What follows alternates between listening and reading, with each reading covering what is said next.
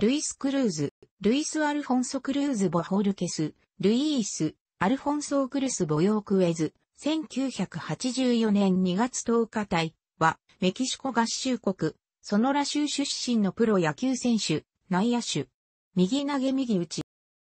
2013年と2017年の WBC でメキシコ代表に選出された。8月29日にボストンレッドソックスとアマチュアフリーエージェントとして契約した。12月16日にシーザークレスポとのトレードでサンディエゴパドレスへ移籍した。の第1回 WBC メキシコ代表に選出されている。10月29日に FA となった。2007年12月11日にピッツバーグパイレーツと契約。9月2日のシンシナティレッツ戦でメジャーデビュー。2番、遊撃手としてスタメン起用され、4打数1安打だった。12月7日にウェーバーでミルウォーキーブルワーズへ移籍。3月28日に放出された。2011年3月29日にテキサスレンジャーズとマイナー契約を結んだ。11月2日に FA となった。2011年11月20日にロサンゼルスドジャースとマイナー契約を結んだ。は、声優劇手、リー・ゴードンの負傷で、7月4日にメジャーへ昇格。ヨハン・サンタナから本塁打を放つなど打撃が好調だ。ため、ゴードンの復帰後も三塁手として起用された。シーズン通算では、メジャー公式戦で自己最多の78試合に出場。自己最多の296打席で、打率297、6本塁打という好成績を残した。2は、シーズン前に開催の第3回ワールドベースボールクラシック WBC にメキシコ代表として出場。メジャーの開幕戦をスタメンで迎えたものの不振を極めたため、6月28日に40人枠から外れた。7月2日に DF となり FA となった。2013年7月3日にニューヨークヤンキースと契約を結んだ。16試合に出場して打率182だった。7月24日に膝を負傷し DL 入りとなった。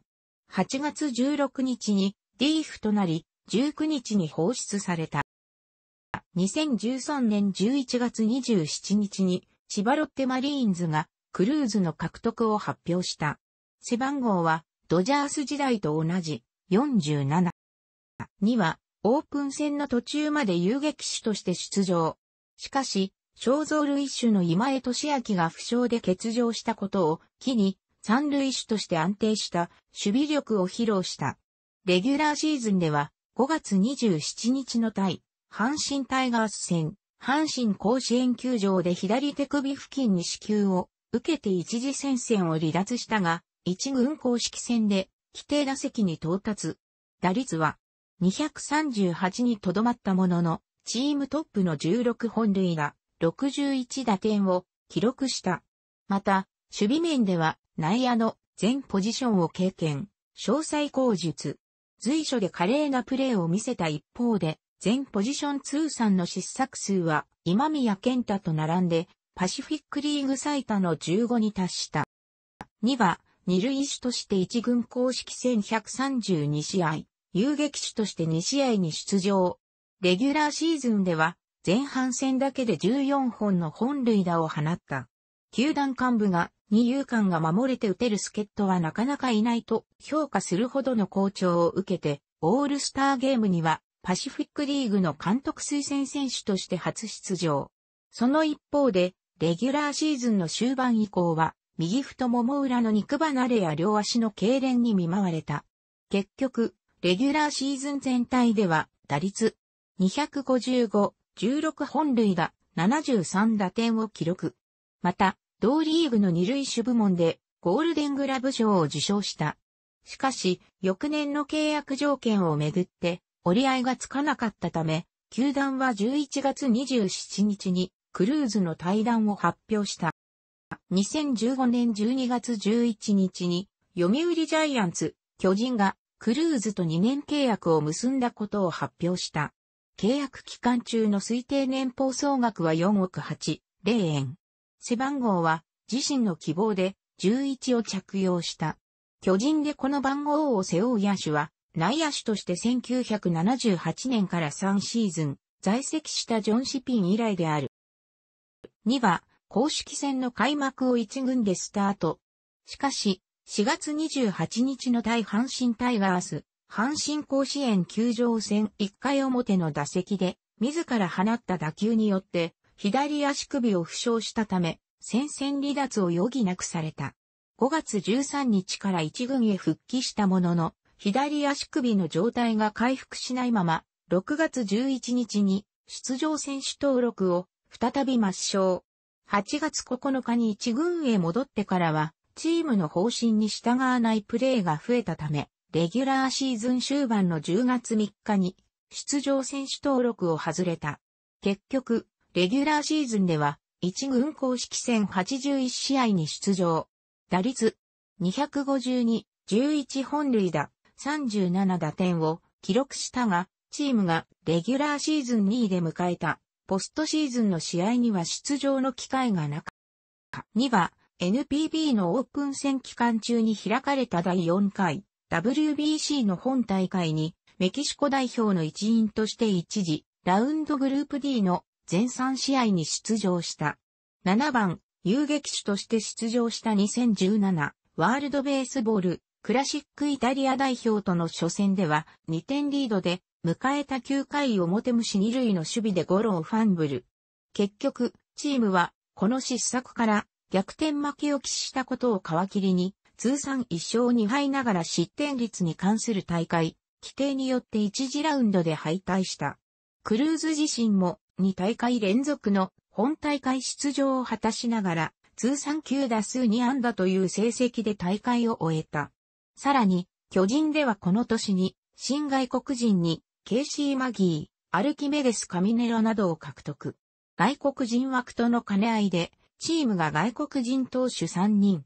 スコット・マシソン、マイルズ・マイコラス、カミネロ、外国人野手1人、マギーを登録する方針を負ったことも、相まって公式戦の開幕を2軍で迎えた。チームが7連敗中だった6月2日に、カミネロと入れ替わる格好でシーズン初の出場選手登録を果たすと、一軍公式戦9試合に出場。しかし、打率156、0本塁打、3打点と振るわず、6月12日に登録を抹消された。2017年7月26日に東北楽天ゴールデンイーグルスへ移籍することが発表された。巨人からの金銭トレードによる移籍で、背番号は67。楽天はこの年の前半戦を首位で折り返していたが、主力野手のモテギ英五郎、藤田和也、カルロス・ペゲーロ、岡島武郎が前半戦の終盤から相次いで故障で戦線を離脱。7月26日から本拠地のコボパーク宮城で2位ソフトバンクとの首位攻防戦を控えていたことや NPB におけるレギュラーシーズン中のトレード期限が7月31日に迫っていたことも背景に、かねてから一軍公式戦への出場機会を求めていたクルーズの緊急獲得に踏み切った。このような事情から、7月26日の入団発表直後には、クルーズの支配下選手登録と出場選手登録も済ませている。